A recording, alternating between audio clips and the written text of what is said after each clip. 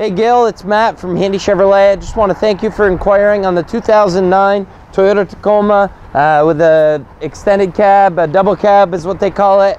Um, it does have a front bumper guard on here as you can see um, and it looks like you can mount lights right on there which gives it a cool extra feature. Um, we haven't had a chance to clean it up yet, so I'm not going to get too much uh, into detail as far as what it has to offer you. But uh, if you could let me know what time you could make it down to the showroom, that'd be great. I do work off appointments so that I can make sure I'm available for you.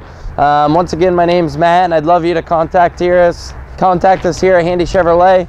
My number here is 802-528-2124. You can email me at martis at handycars.com. Thanks again, Gil, and I hope you have a wonderful day.